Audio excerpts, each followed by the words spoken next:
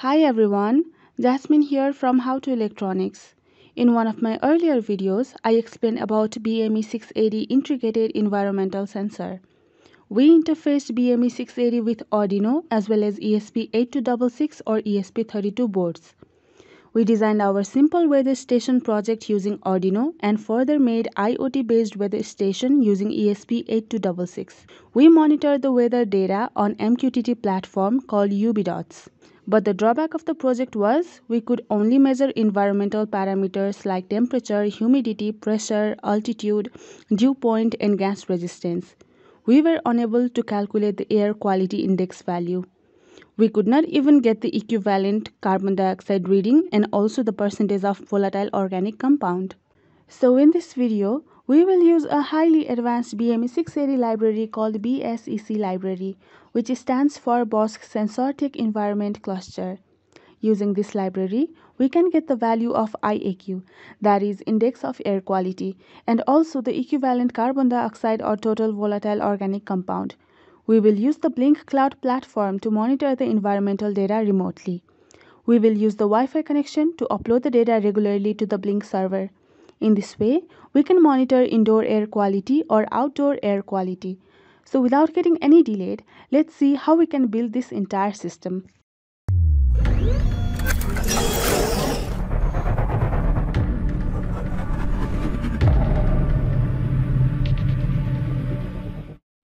This video is sponsored by my favorite PCB manufacturer company called NextPCB. The NextPCB is one of the top PCB manufacturer companies in China. They offer PCB board and PCB assembly services at the lowest affordable price. You can get trial PCB, 2-layer PCB, and 4-layer PCB with free PCB assembly shipping services up to a fast lead time of 24 hours. There is a special offer for you from NextPCB. Share your advice or comments on NextPCB products on your social media to participate in the lucky draw. There is a 100% winning rate to receive gifts, $300 cash balance, $100 Amazon gift cards, and coupons are awaiting for you to draw. So register now and place an order. Welcome back again. The BME680 is a digital 4-in-1 sensor with gas, humidity, pressure, and temperature measurement based on proven sensing principles. The gas sensor on the BME680 can detect a wide variety of volatile organic compounds to monitor indoor air quality. The temperature measurement ranges of the BME680 sensor is minus 40 to plus 85 degrees centigrade, and the humidity measurement range is 0 to 100%. It can measure the air quality index from 0 to 500 ppm. It can also measure equivalent carbon dioxide or total volatile organic compound and breath VOC equivalent. The sensor operates between 1.7 volt to 3.6 volt and communicates on I2C or SPI protocol. The main component used in this project is Wemos D1 mini board. You can also use Node MCU board. All these boards have ESP826612E chip, which is a 32-bit highly advanced and fast controller. The chip has a built-in Wi-Fi chip that has the ability to upload the data to the internet or server using a Wi-Fi network. Here is a connection diagram between Wemos D1 and BME680 sensor. Connect the BME680 SCL and SDA pin to D4 and D3 of Wemos board and connect the SDO to GND. Supply the sensor as 3.3 volt VCC through Wemos board. You can try this connection on a breadboard or simply use your own custom designed PCB board. I prefer a breadboard connection for testing the circuit. Now, since all the connections are done, you are ready to do the testing and programming part. The BME680 uses a complicated and advanced library called BSEC library. Here is a GitHub repository for this library. BSEC means Bosch Sensortec Environment Cluster. The library has been conceptualized to provide a higher level signal processing and fusion for the BME680. The library receives compensated sensor values from the sensor API. It processes the BME680 signals to provide the requested sensor outputs. You can simply check this link to learn more about this library. The library is supported by a 32, 16 and 8-bit controller. It does not support most of the Arduino boards but supports ARM controllers, ESP8266, ESP32, MSP430 and Raspberry Pi. Before using this library, you need to modify some system files as per the instructions here. Open your Arduino IDE, go to Sketch and then Manage Libraries. Search for BSEC. So you can see the library here as well. So you can install the latest version of the library by clicking here.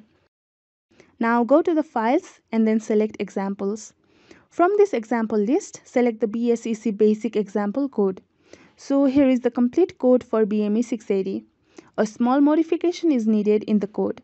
So look for the wire begin to function and put 0 commas to inside the braces. That's it. Come down. So here you can see how the sensor data is printed on a serial monitor using the inbuilt library function. This library won't compile unless you make modifications to some file system. So go to app data, then click on local, Arduino 15, packages, ESP8266, hardware,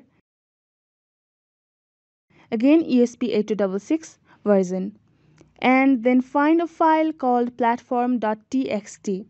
Open this file with Notepad++. Go to line number 96 and add some line here as I'm doing here. You can find this line in the website article. So copy it from there. Similarly, go to line number 122. You need to modify some lines here as well. Slide the cursor and add some text between the quotes before WL. That's it. You can save the file now. On the hardware side, connect the micro USB data cable to the Wemos D1 mini board and also connect the other end of the cable to the computer USB port. Hence, now the device is ready for programming. So go to the tools and then select Wemos D1 board from the list. You can also select Node MCU board from the list. Then select the COM port. Hit the upload button and upload the code. Open the serial monitor now.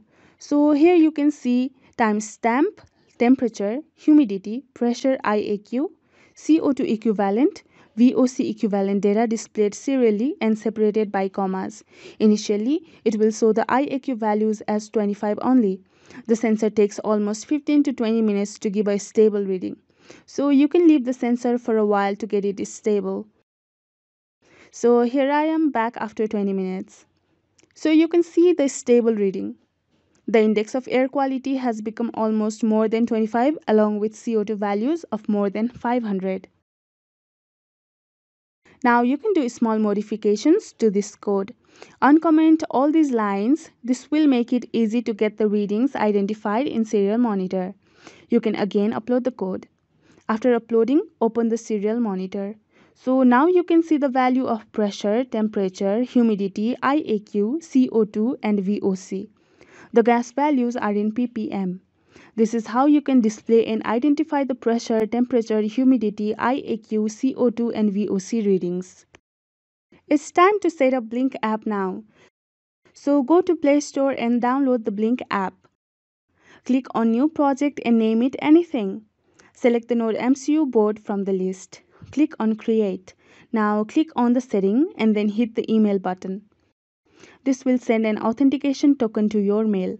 This token is required in the code. Now open your email that you received from Blynk. Now copy this authentication token from here. This is a complete code for the project now. You need to add some Blynk library as well as ESP8266 library. From here, replace the authentication token. Also, change the Wi-Fi SSID and password.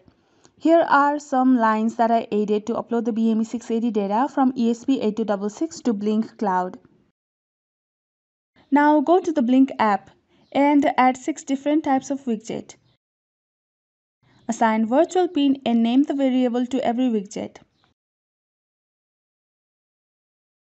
After all the setting is done, click on the play button here. So here is the data from the sensor on Blynk app. The data changes whenever the sensor pushes some values. The beautiful gauge for pressure, temperature, humidity, IAQ, CO2 and VOC will appear here. This is how you can monitor the indoor air quality as well as outdoor air quality. It's very simple and a nice way of monitoring the environmental air quality on Blynk Cloud. I hope you like this video very much. Comment down below if there is any query. Thank you so much for watching.